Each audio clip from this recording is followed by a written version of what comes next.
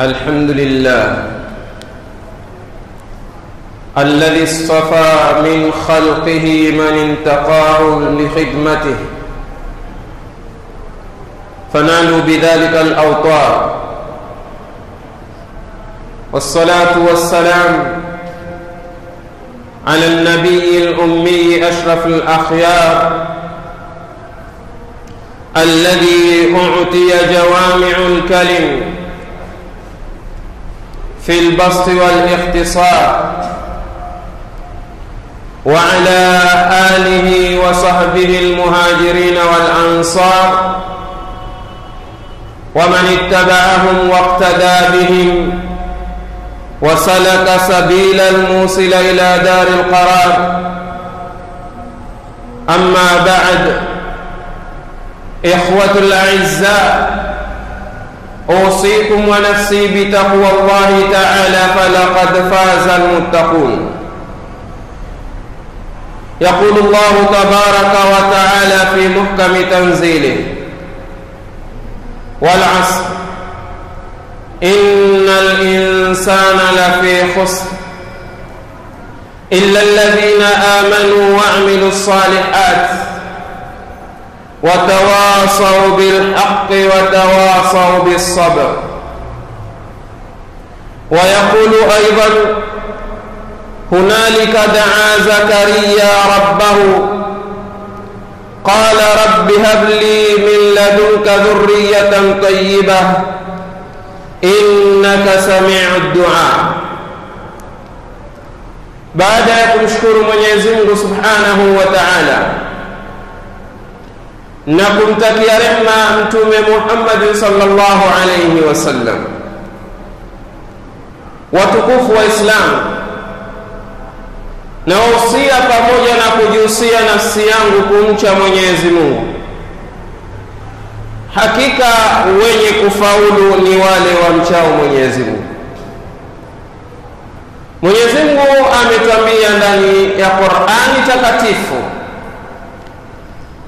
na hapa kwa zama, hakika mwanadamu yuko katika hasara isipokuwa wale ambao wameamini na wakahusiana kutenda ya haki na wakahusiana kusubiri. Mwenyezi Mungu akasema tena na, na huko aliomba Zakaria kumuomba bwana wake, huku akisema bwana wangu nipe mimi kutoka kwako dhuria njema hakika wewe ni msikivu wa dua. Hapa tunachokikusudia leo ni mada, vipi utajenga matokeo ya mwanao, vipi utajenga matokeo ya mwanao. Tumeisoma sura ya kwanza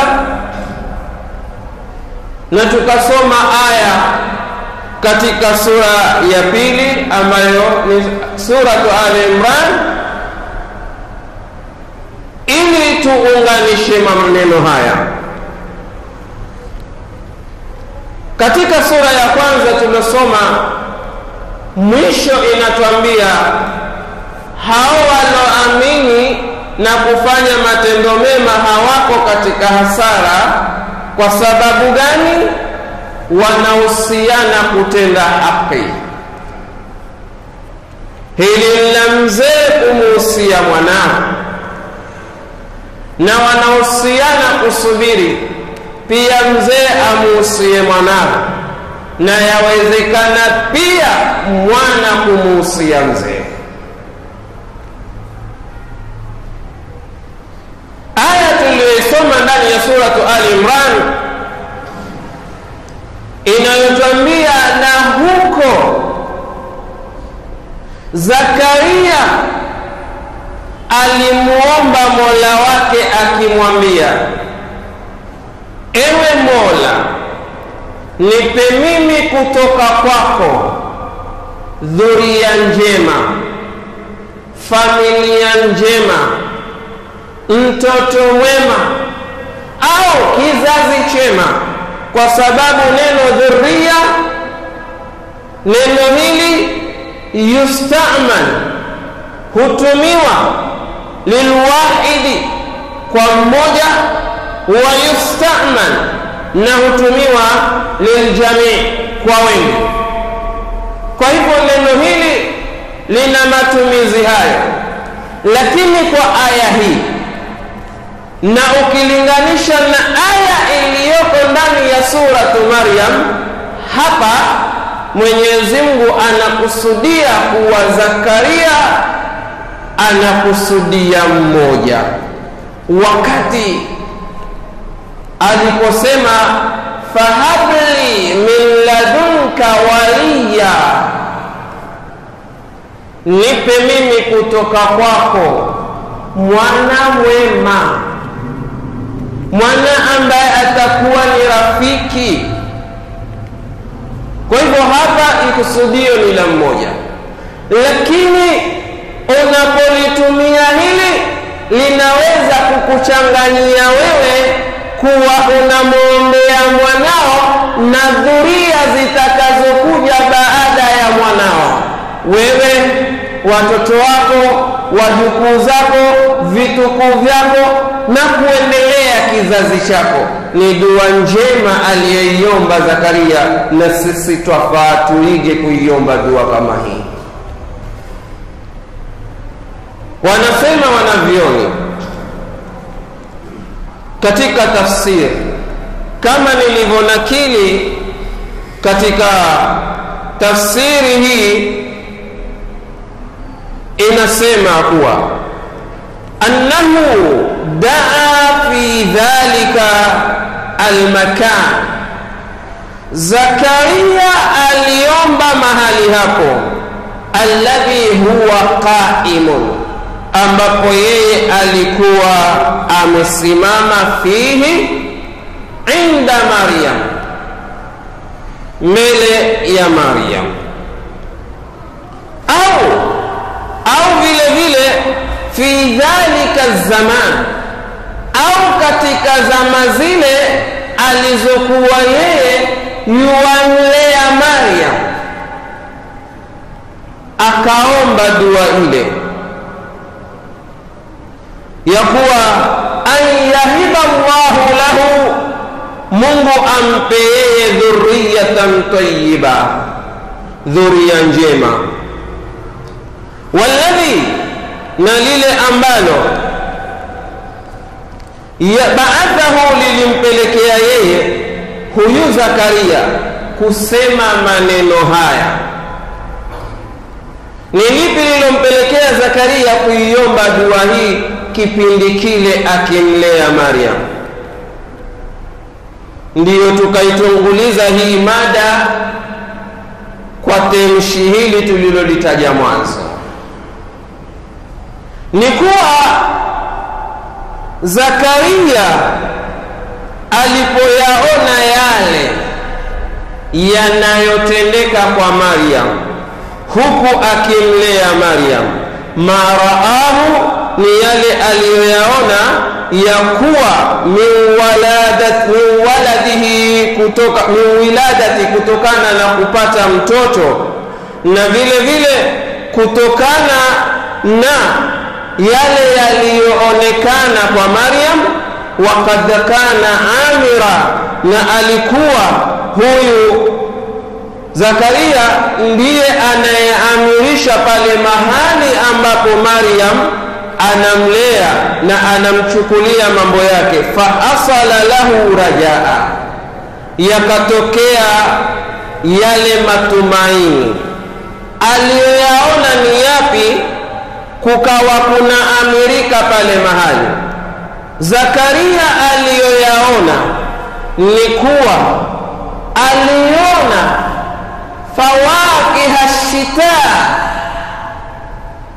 matunda ya kusi. Matunda yalozoeleka kupatikana kusi akayaona fi saif yanapatikana katika wakati wa kaskazi. Wakati wa kiangazi akayaona matunda ya kusi. Na vile vile fawakiha matunda ya kaskazi matunda ambayo yamezoeleka kupatikana kipindi cha kiangazi fi saif kupatikana katika kipindi cha kusi. Rajaa ikaja kwake. Rajaa ya nini? Rajaa ya mtoto ya kutarajia mtoto. Kwa nini? Ni kwa sababu yeye mwenyewe alikuwa amefikisha umri wa kupitisha kutarajia mtoto. Kama aya inavyotwambia kule inni wahana ladhmu minni. Mfupa umeanza kuwa mpevu na kuanza kuwa mnyonge. Wahana ladhmu minni washtaala rasu shaiba na kichwa kimejaa mvi. Hili kwa wengi mtu ikiwa amefikia umri huo huenda akawa amekata tamaa.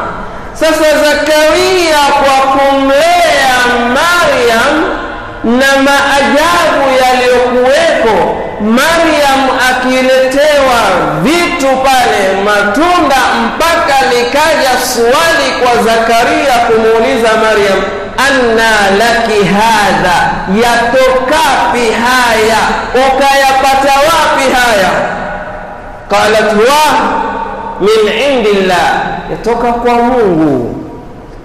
Kiyatazama matunda ndiyo hayo ya maajabu ya kusi yaonekana kipindi cha kaskazi na ya kaskazi yameonekana kipindi cha kusi. Akaona kuwa hata mimi ikiwa ninafikia kipindi cha kaskazi yani nimeanza kukauka mfupa na zeeka. Lakini matarajio yako. Matarajio yako. Ndiyo akayasema maneno haya kumwomba mwenyezi mungu subhanahu wa taala. Lianna man aujada dhalika fi ghairi waktihi kwa sababu aliyeleta hayo matunda na kuleta hivyo vitu kwa wakati ambao hatukuzoea kuviona qadirun au yakdiru ni muweza au anaweza ala ijadi lwaladi kumleta mtoto min akhirin kwa mtu ambaye tunamzingatia ni tasa. Kwa yule tunayemzingatia ni tasa anaweza kama alivyotoa matunda ya wakati fulani yakapatikana kipindi fulani na vile vile katika mazingatio yetu huyu tunayemzingatia ni tasa anaweza kupata mtoto. Kuna alaka gani hapa kusema kwamba kuijenga au kujenga matokeo ya mtoto wako? Alaka hii ni kuambiana wazee na vijana na walezi tusikatishane tamaa. Sisi kama wazee sisi kama walezi hawa kama watoto sisi tusiwakatishe tamaa watoto. Na watoto wasikate tamaa kama anavyotufunza zakaria hapa kwamba hakukatiki tamaa maadamu mungu yuko. Na lengine zuri linaweza patikana. Wakana ahla beiti wakana ahlu beiti na wanasema wanavyoni wakana ahlu beitihi na walikuwa wale watu wa zakaria wengi wa umri wake na rika lake inqaradhu, walikuwa wamekufa wengi. Sasa wewe mfano mtu mzima, ukiangalia pale ulipokaa, huoni uliyecheza naye katika wadogo, hisabu nyingi unaojipigia nipi? Nilobakia mimi. Israeli katembelea kwa marafiki zangu wote, kawatwaa na mimi sina wakati. Sasa hili halikumfanya Zakaria akate tamaa, pamoja na kuona wengi na karibu wote alionukia nao umri mmoja wameondoka duniani na bado hajapata mtoto, ati akate tamaa. Ndivyo wanavyotwambia mufassirun kama haya maneno yanavyosema, rabbi habli min ladunka dhurriyatan tayyiba, nipe kutoka kwako kizazi chema. Ukiangalia alichokiomba ni kizazi chema, kisha kizazi chema hakiwi chema tu Ukianza omba na ukiwa naye mtoto, endelea kumwombea na umpe mafunzo na umpe tashjii, ndiyo utajenga matokeo ya mtoto wako. Usiwe kathiru laumi, usiwe mwingi wa lawama, hata pasipokuwa na lawama usiwe ni mwenye kuvuka mipaka pia katika kumlaumu. Wanavyoni wametaja karibu mambo kumi ambayo yanavunja na kuharibu akili ya mtoto, yanavunja na kuharibu akili ya mtoto. Mimi nataka nitaje mawili peke yake katika walioyataja wakasema, moja, tasma lahu an yakhtar, umruhusu mtoto achague. Na hapa ndipo tunapotatizika wengi, tukaona basi mwana tanitawala. Elewa wanavyoni walivyotwambia, mruhusu mtoto achague lile lake, ikhtiyari yenyewe iwe ikhtiyari badihi, kuchagua pamoja na ufahamu mwema wa akili ya mzee Usimlazimishe ambalo halendani na yeye. Tasma lahu likhtiyar, umpe nafasi ya kuchagua.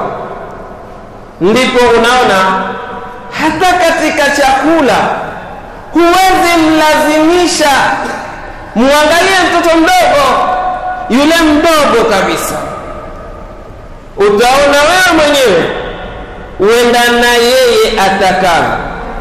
Huwezi mlazimisha uji ikiwa hataki, utakwenda tafuta kingine. Hiki hapendi mwanangu, hiki hapendi, mpaka aingie katika laini, kwa sababu lianna lahu ghariza, kwa sababu yule mtoto katika mwili wake, katika roho yake katika akili yake kuna vitu vinamvutia. Ikiwa kuna vitu vinamvutia, ndiyo hobi yake, unaviangalia. Je, katika hivi vinavyomvutia vinaendana na mwili wake, vinakwenda na sheria? Hapo utampatia nafasi ya kumweka katika matokeo mema mtoto, lakini umwambie ni hii hii sima. Hata kama koo yako haijapanuka kupita sima ntakulisha hii hii sima. Wenda kombo na malezi.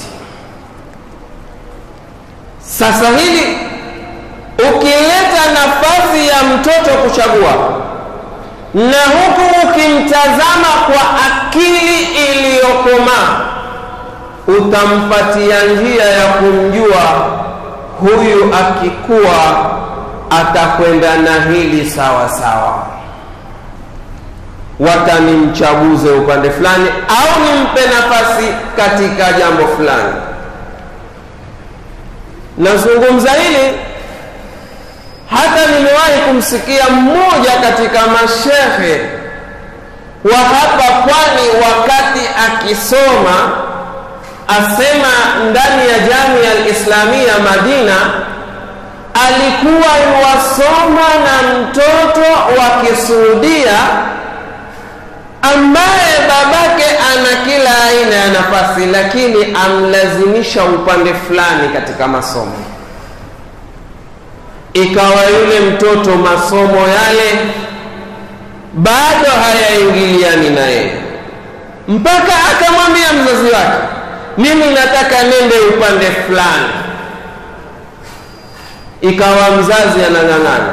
Shekhe huyo asimulia sema alivyokuwa na ile ghariza inamomvutia upande fulani wa mafunzo fulani ikawa hata gari ikipita ikipiga honi hukwambia hiyo ni gari aina fulani. Hiyo ni Nissan hiyo ni Toyota. Hiyo sijui ni nini ni nini nini. Akawa akili yake iko katika mafunzo fulani na baba amlazimisha. Mwisho akamwambia baba hapa palipofika basi mimi nataka unipeke upande fulani wa masomo. Akaacha dirasa fulani akaingia upande wa masomo ya upande wa mashini kuunda baada ya muda mfupi kijana yule akawa ni fundi mkubwa wa magari. Hapa tunasoma nini?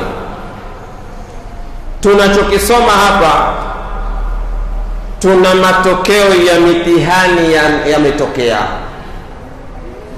kuna walopita kuna walioanguka. haimaanishi aliyopita ndiye amepita moja kwa moja na aliyeanguka ameanguka moja kwa moja bado twamwambia aliyeanguka mtihani huu la taknat usikate tamaa maadamu mungu kakupa akili pana nafasi ya ujuzi mwingine. Wala mzazi usimkatishe tamaa mtoto aliyeanguka. Ukamwambia wewe utakuwa jihuni tu. Wewe lililobakia ni kuingia mitaani. Wewe utakwenda kukaa mabarazani. Wewe utakwenda kuwa mwizi. Tayari kuna karia chungu nzima kuna aina ya mafunzo chungu mzima. Msongeze mbele mtoto yule. Umwingize mahali ambapo panalingana na yeye. Fawallahi na apa kwa mwenyezi mungu. Utakuja kumuona baada ya kipindi fulani ikiwa huyu aliyepita katika mtihani amefaulu tena huko mbele aendelea na maisha yake na huyu amefaulu kwa upande mwengine wote wanajenga taifa huku ndiko kujenga matokeo ya mtoto. Si kuvundana moyo tukasema aliyeanguka basi abakie mtaani. Na ni jukumu la viongozi na wazazi kuhakikisha aliyepita kumwendeleza upande ule aliyepita aliyopita na aliyeanguka upande ule aangaliliwe upande mwingine akiacha matokeo baadaye ndiyo pale tunabakia mitaani tukipiga kelele hakuna kazi vijana uwezi vijana uwavivu vijana sijui ni hivi kumbe sisi hatukukuza matokeo ya watoto wetu. Hakuna aliyekosa kipawa hapa. Tusihadaane wala tusijanganyane hivi hapa tulivyojaa msikitini ni vipawa chungu mzima vipo. Lau zingekuwa zenye kuangaliwa wallahi tungekuwa mbali kimaendeleo. Lakini hatuko makini katika kuangalia vipawa. Tumejaribu upande fulani au tukalazimisha upande fulani. Ikiwa yule tulimlazimisha upande fulani hakuwa twamuachilia. Kipawa kile kwa upande mwingine kishatupotea wallah hivi ni vipawa hapa. Na lao watu watakuwa ni wenye kukaa wachunguze zaidi wataona faida ya vipawa vilivyojaa. Ni wazazi wangapi huwa na watoto watoto wale wakaja na vipawa tofauti katika nyumba moja. Haiwezekani hati kusema wote watakuwa madaktari. Wote watakuwa wanabiashara. Wote watakuwa makanika la waweza kuwalazimisha lakini ukaona mmoja ndiye amekuwa wengine wameangukia pengine. Kwa hivyo tuweni makini kuchunguza vipawa tulivyo navyo tuvifikishe pale panapotakikana. Jambo la pili atabir birrai. Kuwa na tabiri kwa yule mtoto aweze kuleta rai. Kwanza tulisema kwamba umpe nafasi ya kuchagua ili awe na nafasi yani ya tabiri fi rai kuwa na taabira yake na kutoa rai yake lakini pia kuwe na uangalizi wa kisawasawa. Usije ukamwambia mtoto wako wewe una rai gani mbele ya wazazi wako? La yawezekana kukatokea rai kwa mtoto na ikawa na manufaa. Yawezekana kwa mtu wa chini akatoa rai na ikawa na manufaa. Ikiwa mtume sallallahu alayhi wasallam alizungumza na watoto akazungumza na watu tofauti kuangalia taabira zao na rai zao na kwa hilo ndiyo ukaona uislamu ulivyosonga. Angalieni tu namna umar bnu lkhatabi radiallahu anhu alivyowaleta wazee kutaka kuwasikiliza katika sura fulani. Watoe maelezo. Idha jaa nasrullahi walfathu waraaita nnasa yadkhuluna fi dini llahi afwaja fasabbih bihamdi rabbika wastaghfirhu innahu kana tawaba akawaambia hebu wazee niambieni mwajua lipi na muna ufahamu gani kuhusu sura hii? Wote wakawa na rai moja ambayo si ya makosa. Wakisema kuwa sura hii inaonyesha ushindi na watu kuingia katika dini ya uislamu yani ushindi wa dini na watu kuingia katika dini ya uislamu kwa wingi umar akamwambia hebu na wewe ibn Abbas twambie ni kijana kati ya watu wazima ili muone kwamba vipawa vipo. Akasema ninachokiona ndani ya sura hii ni iqtirab ajalu nabiyi sallallahu alayhi wasallam ni kukurubia ajali ya mtume yani mtume kuondoka ulimwenguni. Umar akawaambia nyinyi mulikuwa mkilalamika na mimi saa zote kumleta ibnu abbasi karibu kukaa na sisi. Mpaka mukawa mwalia wivu kwani na sisi hatuna watoto? Awaambia kwa hili ndilo nililofanya lililonifanya nikamtanguliza Abdullahi bin abbasi kukaa na mimi kila saa sihatu tabir waweza kukaa na mtoto wako umwangalie na ujadiliane na yeye uwe na muhawara umwelekeze palipo pazuri na ukubali penye rai nzuri mtoto wako. Utajenga matokeo ya mtoto wako. Lakini ukisimama ni baba mlezi nimesema nimesema nitakwenda nitakwenda hutoki hutoki bila ya kufikiria kwamba hapa ngoja nimsikilize atoka kwa ajili gani aenda endako ni wapi atakipata kipi atakapokwenda atafaidika na lipi akenda atahasirika na lipi asipokwenda. Hapo wewe ukenda kinyume na fikra kama hii basi hujengi matokeo ya mtoto wako.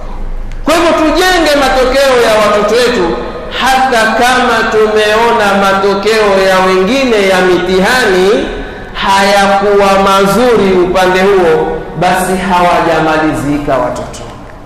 Wala hawajafeli watoto sisi ndiyo twaweza kufeli na kuwafelisha ikiwa hatutawaonelea wanapofaa kwenda. Ni wapi watakachofaa kufanya ni kipi? Tuweni macho na watoto wetu hasa kwa wakati huu tulionao. Mfano wa kipindi hiki umwambie wewe basi mimi na wewe. Likizo hii na uchafu huu uliojaa watarajia aangukie wapi mtoto wako? Ni machafu yamejaa mijaa yamejaa mijini ndarandara hizi ziko tele. Zitawaokota watoto. Niliwahi kuwaambia safari moja mtoto aliyekosa sikio la kumsikiliza. Mtoto aliyekosa sikio la kumsikiliza basi atakwenda kuokotwa na sikio jengine mzazi kuwa sikio la mtoto wako umsikilize umwelekeze. Akizungumza kombo umwambie hapa ni kombo. Akizungumza pazuri umwelekeze umpe sihatu tabir muwafikiane naye na hapo atafaulu. Twamwomba Mwenyezi Mungu subhanahu wa taala ajalie watoto wetu wenye kufaulu katika maisha yao, utujalie tuwe ni wenye kuwaelekeza vyema watoto wetu, na utujalie tuungane na watoto wetu wafaulu kwa pande zote. Barakallahu li wa lakum bil Qur'anil azim wa nafa'ani wa iyyakum bil ayati wa hakim. Aqulu qawli hadha astaghfirullah li wa lakum wa lisairil mu'minina wal mu'minat fastaghfiruhu innahu ghafurur rahim wal karim.